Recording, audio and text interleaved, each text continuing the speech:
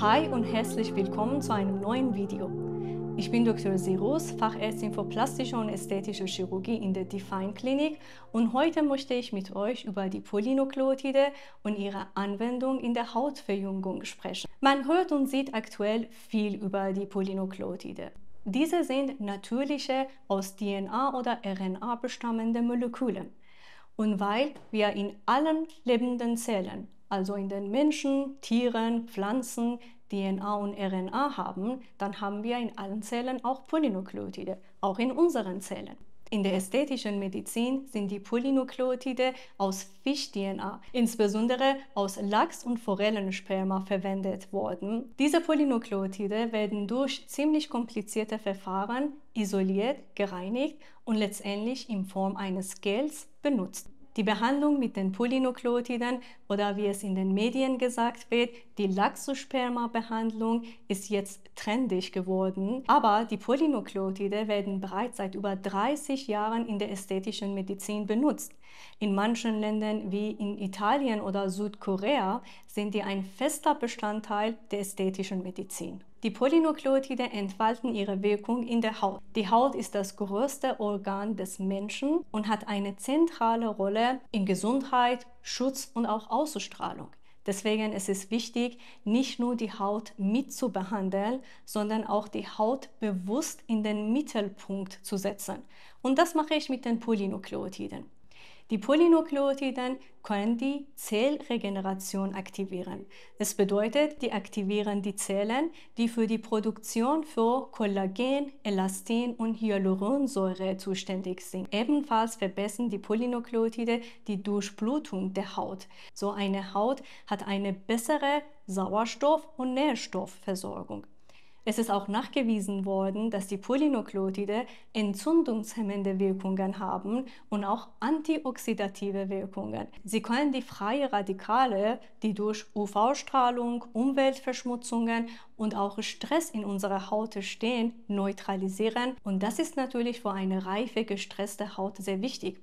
Also wenn ich die Polynukleotide im Bereich der Haut verwende, habe ich eine straffe, elastische, gut durchfeuchtete, rosige, lebendige, ungesunde Haut mit weniger freien Radikalen und weniger Entzündung. Welche Arealen können mit den Polynukleotiden behandelt werden? Die Einsatzbereiche sind sehr viel. Gesicht, Hals, Dekolleté, auch im Bereich von den Händen oder im Bereich von den Narben und Dehnungsstreifen kann ich die Polynukleotide benutzen. Die häufigste Anwendung ist im Gesichtbereich, zum Beispiel im Bereich der Augenpartie. Hier können die Polynukleotide, die dunklen Augenringe, die feinen Linien, die ein bisschen müde Haut und auch die Tränensäcken und Schwellungen im Bereich von Unterlid deutlich verbessern. Hier sehe ich nach der Behandlung die Verbesserung der Hautqualität und die Glättung von den kleinen Fältchen. Ansonsten kann ich die Polynukleotide im Bereich von Wangen, Jochbein, um den Mund und auch im Kieferbereich oder Kinnbereich benutzen. Zum Beispiel die sogenannten